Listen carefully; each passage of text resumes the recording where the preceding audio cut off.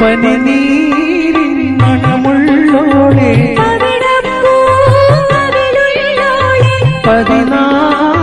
പതിനാലിനൊളിവുള്ള ആയിഷ ബീവി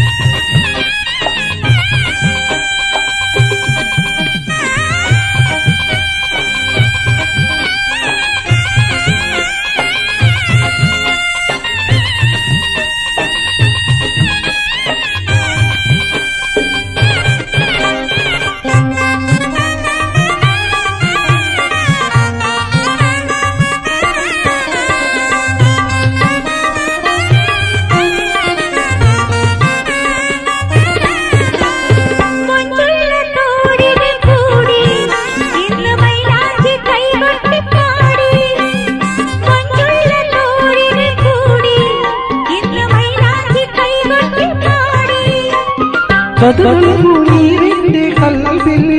ഇന്ന് ജമാലിന്റെ കാലേ കൽവിൽ